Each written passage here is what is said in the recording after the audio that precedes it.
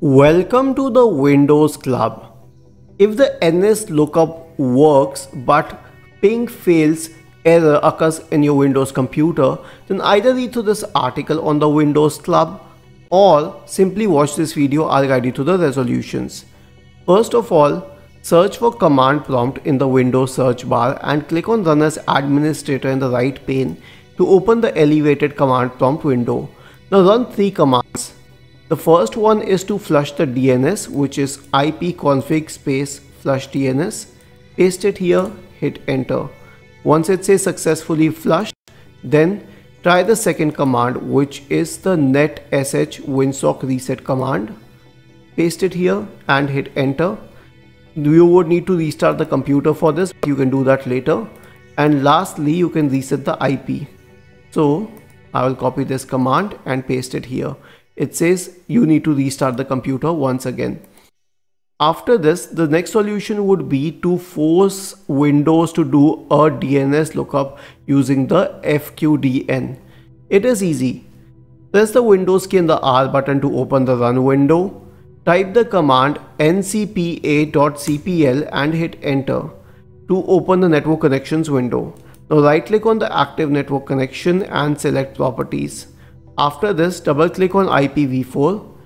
Go to this option here which says advanced. Go to the DNS tab.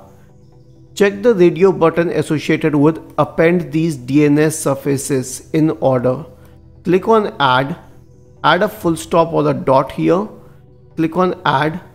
Select OK. This should resolve the problem since it forces DNS lookup for every ping query.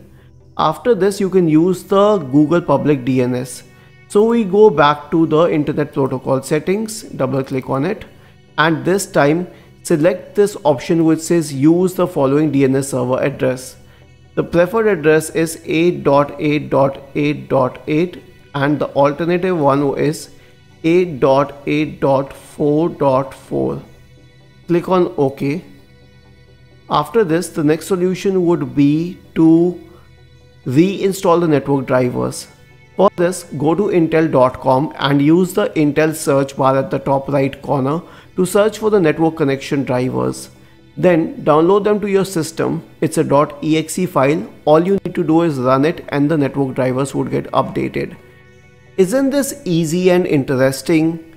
If you have any doubts, please go to the original article on the Windows Club, scroll down to the comment section and write your query we will surely answer to it.